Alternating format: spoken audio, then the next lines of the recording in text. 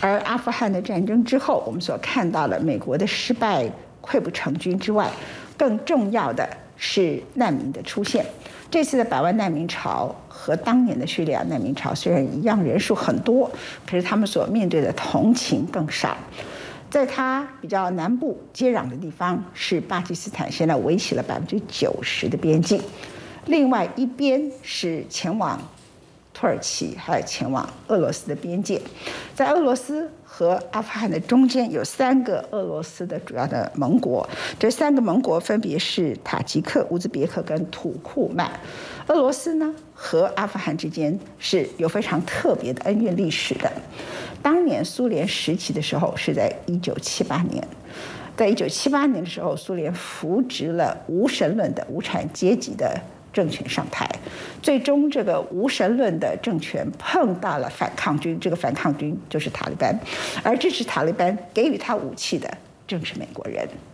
九年之后，苏联宣布。他这场战争失败了，而塔利班正式成为阿富汗的主导政治力量。到了九一之后，历史倒过来变成美国和塔利班政权宣战。在九一之后，经过二十年，美国宣布撤军阿富汗。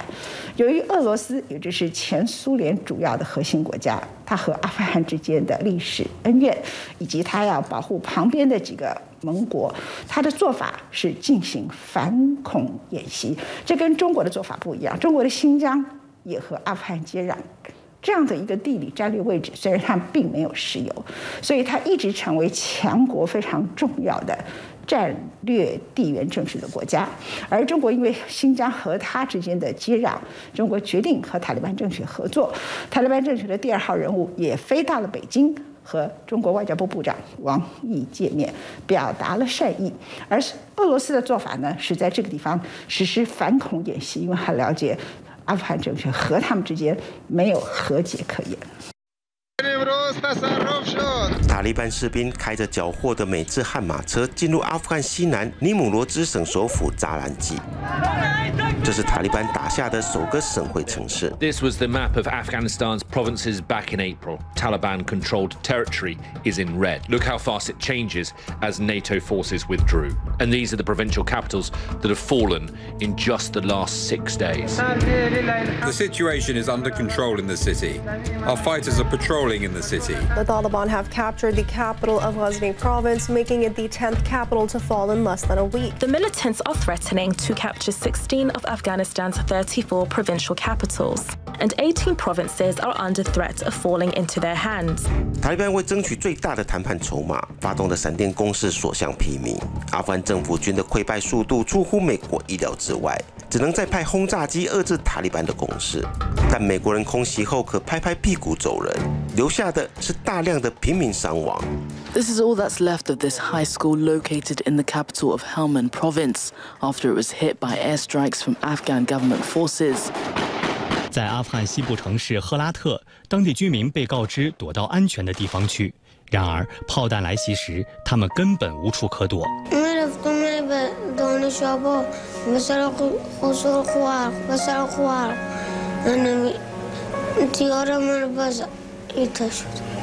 你去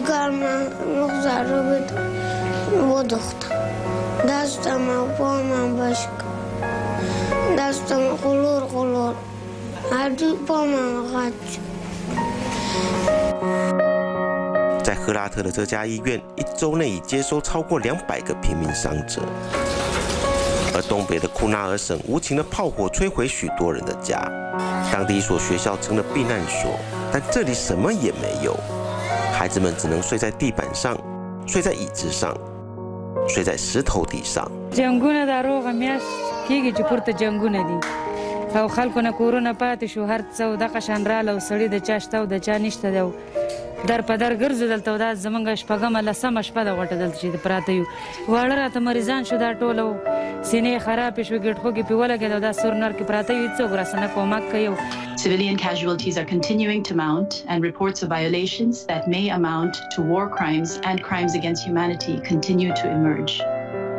We all know that urban warfare results in scores of civilians being killed. We have seen it before, too many times. In Afghanistan, since the 9th of July, in four cities alone, and these are Lashkargah, Kandahar, Herat, and Kunduz, at least 183 civilians have been killed and 1,181 have been injured, including children. 逃避战火的难民涌入相对安全的喀布尔市郊，官方统计至少七万七千个家庭流离失所。这里缺药品、缺食物，甚至没有干净的饮用水。Afghanistan now, where Taliban fighters are making gains across the country, forcing many Afghans to flee. Most are headed west, crossing over the border to Iran.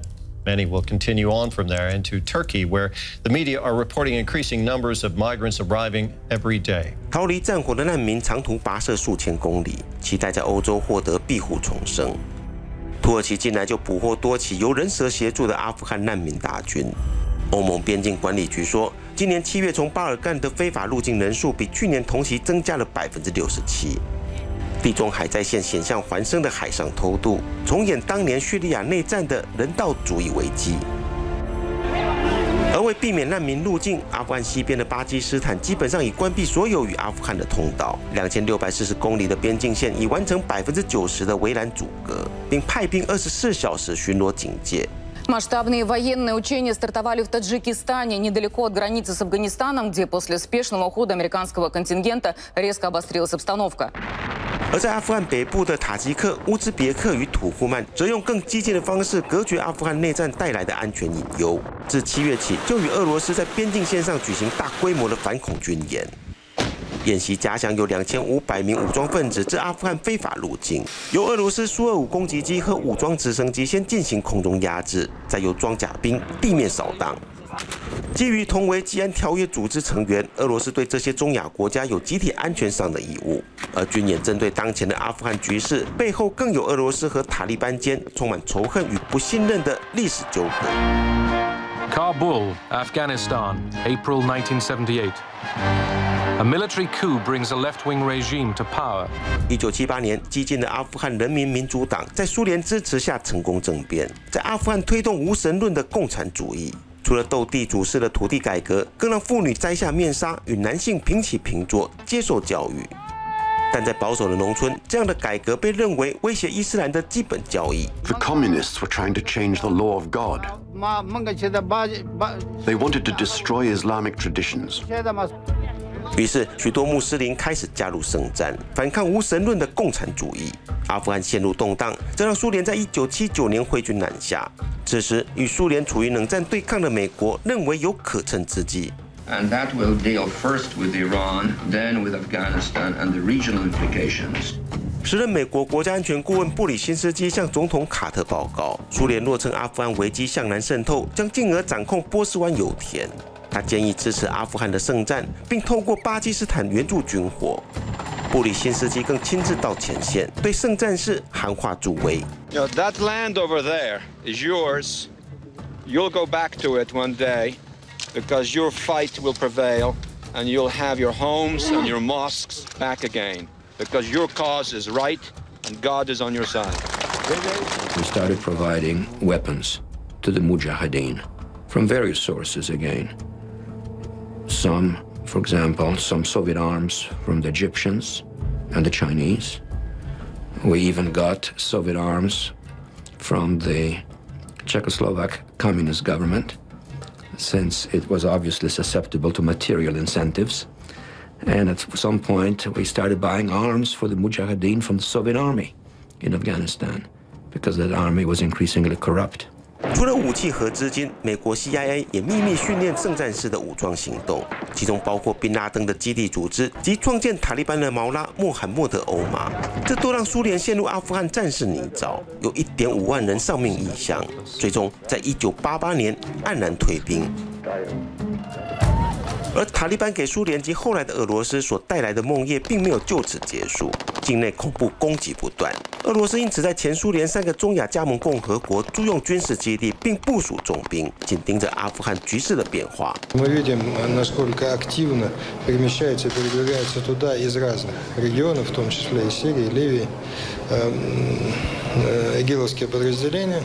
俄罗斯防长绍伊古稍早透露莫斯科方面的情报，并前往塔吉克商讨军力部署。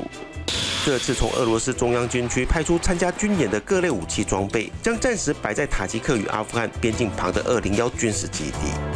虽然没有迹象显示俄罗斯会重蹈覆辙，再次挥军南下，对当前的阿富汗进行军事干预，而塔利班也已向莫斯科书城，表明会切断与恐怖组织的关系。但历史因素让莫斯科对塔利班充满着不信任。